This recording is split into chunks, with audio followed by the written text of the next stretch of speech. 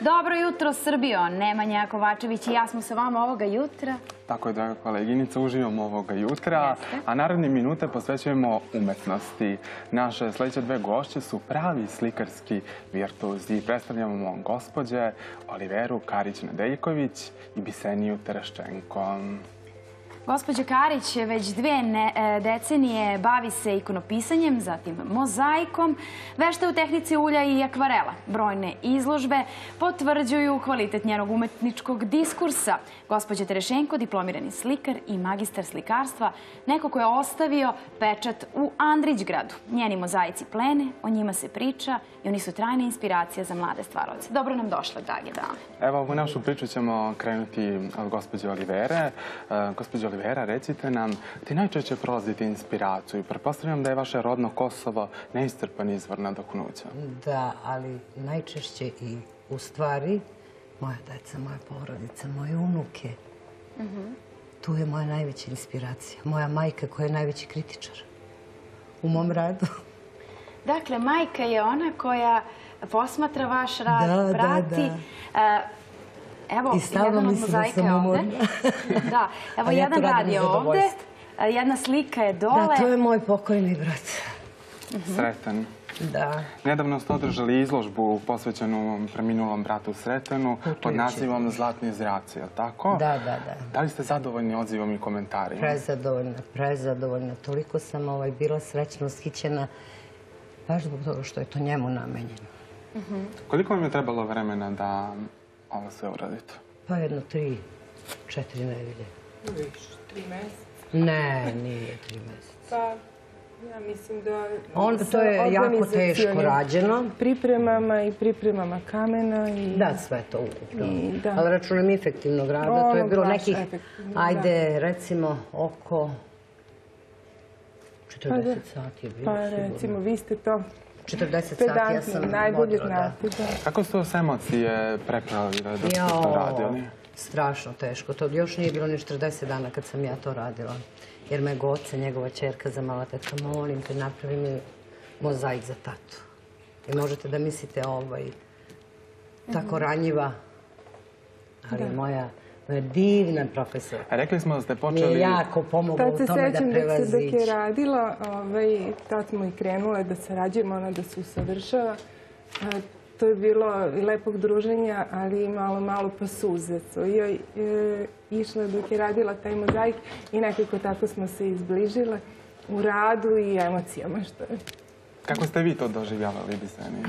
Ja se izvinjam što sam upala u reč, možda ste Ne, ne, ništa, htjeli još nešto da pitate. Htjela sam samo da se nadovežem na to ovaj, da sam se setila te situacije. E, Kako ste vi to doživljavali? E, mislite, rad e, Sretan. Pa ja sam tu bila kao neki stručni konsultant u usavršavanju naše umetnice, koleginice. I tu mogu da kažem da sam ponosna na sebe što sam e, bila učesnik i da na neki način ovaj, svedok nastanka tog dela. Po- pored plodnog e, edukativnog rada bavite se i mozaikom. Reč je o zahtevnoj tehnici, zar ne? Pa jeste, e, mozaik je zahtevna tehnika, ali je negdje i zanimljiva. Postoji ono u nama ljudsko e, sakupljačko, što smo malo zaboravili i nemamo prilike da primenjujemo. Neki to u kolekcionarstvu se može, na primjer, osjetiti, a mi e, koji slikamo kamenom smo kolekcionari divnog kamena koji još uz to upotrebimo, znači ne stoji nam na policama, nego od toga napravimo divne slike. I onda Oliver i ja razmenjujemo informacije gdje može se nađe neki zanimljivi kamen. Ona meni da svoj i tako. Ja. Olivera, vi ste pre 20 godina počeli da je Ja sam to, ovaj, ne, ja sam počela da slikam ulje. Tako sednem, dođem s posla umorna, pošto sam se bavila turizmom. To jeste lep posao, ali je jako i umoran. Čak i fizički mogu da kažem. Kasnije Ovaj. ikonopisanje, zar ne? E, kad je tata umro, onda sam ja počela da ikonopišem. Jer sam počela neku posebnu tehniku da radim. Sad ću vam pokazati, nisam nosila slike. Evo, na primjer, ovo je pečka patrijašija. Sad, najsitnijim, evo i može ikona neka da se vidi.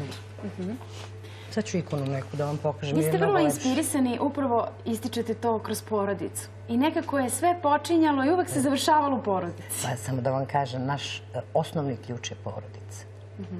To je najsigurnije mesto i najtoplije mesto. Svi znate šta je bilo i kako je bilo i kako smo mi to prevazišli. Samo zato što smo jaka porodica. Koliko je teško sačuvati Postoji ta velika porodicu? ljubav između nas. Koliko je teško sačuvati porodicu u današnjim vremenima? Pa Evo, vi ste nedavno obeležili 255 godina uspešnog preduzetništva. Bile su 21. dodela Karić nagrade. Da. Znate šta, ogromna tolerancija. Kritiku nikad ne shvatate kao nešto ružno, nego jednostavno za bolje sutra. Nije, nije neki ključ veliki ovaj sačuvati porodicu. Samo treba voleti porodicu. U nama je umetnost- utkana ta velika ljubav. Može da bude šta hoće, ali mi imamo tu ljubav. To je osnov i temelj. Ljubav, naš vera i pokretač. nada. Da. I ta naša vera koja je utkana u nama isto. Mi smo svi vernici. Vaš otac je sahranjen u Pečkoj patrijaršiji, ako se ne varam. a. Vaša majka, mati Angelina, je trenutno u Pečkoj patrijaršiji. Ne, trenutno je mama kod mene. Mhm, Nas dve živimo zajedno zato što je mnogo stara i zato što je isto tamo staro sestrinstvo i to ovaj, ne bi mogli oni Koliko ima godina? trude. 98 punih 99. Januara 20.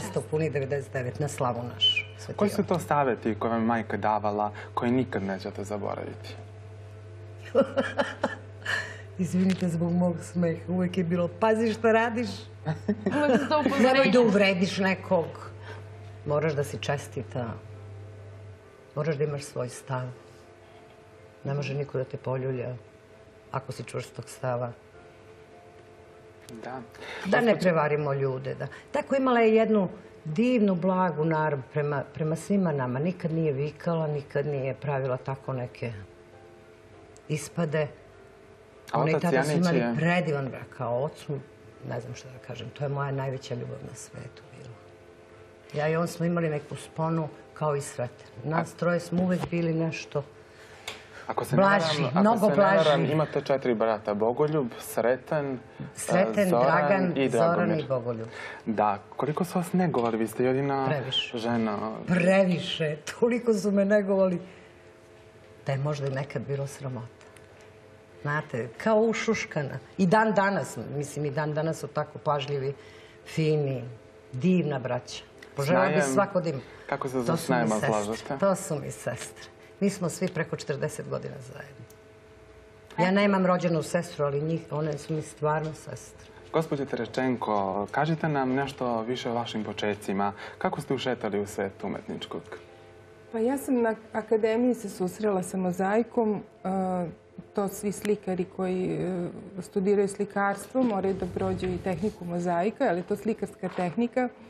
I tu me e, profesor Đuro Radlović, koji je tada bio profesor na tom oceku, pozvao da radim neke, ovaj, e, da mu pomognem u njegovoj ličnoj, ličnom ateljeu i na taj način da se usavršavam. Tako da još od sredine fakulteta ja radim na ozbiljnim projektima. Jedan od njih je kod porodice Karić, to nas isto zbližava gde je profesor Đuro Radlović e, vodio taj projekat, a ja sam tu počinjala neke ozbiljne teme kao što je alegorija jeseni, Bušeova reprodukcija u kamenu, velika e, leda sa labudom.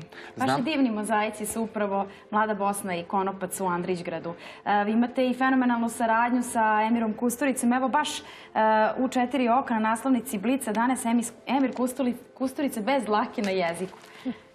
Pa jeste, imali smo do sada zaista lep odnos i on mi je dao priliku ne, neku, ne, ne, ne bi mogla da zamislim još nekoga na nekom mestu da mi ukaže takvu priliku da ja uradim Poverenje. i poverenje, a i prilika da se uradi ta tema kao što je mlado bosanci, kao što je e, ta neka žanr scena koja ima i humora i to je nešto što ovaj, samo profesor Emir Kusturica može da ovaj, e, negde podrži i podstakne donekle i da ovaj, s- na tako velikom, ogromnom formatu budu tako raz- razigrani mozaici. Vaše umetničko delo ikona presvete Bogorodice otišla je kao državni poklon predsjedniku Rusije, gospodinu Vladimiru Putinu. To je svakako potvrda izuzetne nadarenosti, ali i obaveza stalnog usavršavanja. Pa tako je. Inače, ja se stalno trudim. Ta ikona je nastala bez namere i nekoliko godina ranije je nastajala paralelno sa nekim mojim poslovima. Ja sam radila za svoju dušu i sve što radim i za izložbe radim e, što finije, što preciznije, jer to vreme koje utrošim u taj rad je e, nešto što ostaje iza mene, a novac sad, ili neko priznanje, to dođe naknadno. E, Eto, ta ikona je u stvari, kao i sad sledeće što radim, radim potpuno ovako posvećeno, e, odgovorna samom tom radu, a cilj posle dođe neki put, e, put svakog rada je nepredvidljiv. Samo sam htjela da kažem povodom Emira Kusturice da i moje saradnje e, u okviru Kustendorfa bit će u Andrićgradu e, planirana je, dogovara se moja izložba u galeriji u Andrićgradu. Biće u toku trajanje Kustendorfa. Gospođo Olivera, kakav je odnos umetnika i njegovog dela? Pa znate šta, dok radite, vi uživate onako i onoliko, a onda idete ka tome da još neko uživa kad ga postavi na zid. Imali ste brojne izložbe širom naše zemlje. Koju pamtite onako kao nešto posebno? Pa imam tri koje su mi posebne u Kralja Petra prva moja izložba gde je moja čerka toliko insistirala Gorica da ja izađem s mojim radovima, tak je bio neki kao početak za mene, još i javno. Pa moram da priznam da sam imala strašnu tremu. A odziv je bio savršen i ja sam tražila da traje tri sata. Znači ništa više. Po pozivnicama, da ono koga pozovem, taj da dođe, da vidi i idemo dalje. Kažete da svi veliki profesionalci imaju tremu pred takve velike stvari. Onda je bilo u progresu i tu je bilo onako prisutna trema, ali ne tako kao u Kralja Petra. A u Nišu, moram da priznam da sam tu bila očarana tom dobrodošlicom. Toliko ljubavi, toliko poštovanja i želje za, za umetnošću, da bude što više izložba, da se što više dođe. Da... Narod je željan prosto da vidi nešto lepo. Pesnik je rekao Jeste. da je Kosovo najskuplja srpska reč. Kako ga vi danas vidite? Ja ga uvek vidim isto. To je moj temelj života. Ja idem vrlo često.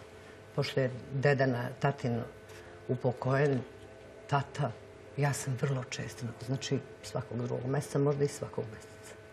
Hvala vam puno, drage dame, što ste bile sa nama ulepšale jutro. I za kraj da pomenemo, 15. decembra u kući Legata u Knez Mihajlovoj ulici otvara se Međunarodni festival mozaika. Tako je.